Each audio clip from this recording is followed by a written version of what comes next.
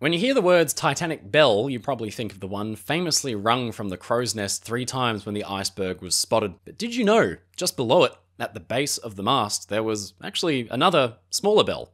This was actually a holdover from the earlier days of sail, because back then, when they needed to raise or lower the anchor, men would have to turn a huge windlass around, and every time 15 fathoms of anchor cable were let go or pulled in, the bell would chime, and it let the captain know that the ship was getting ready to leave.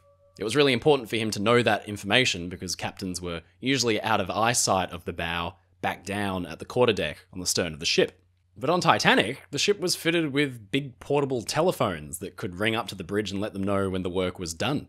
So this bell was more of a tradition or something like a backup in case one of those telephone lines went down.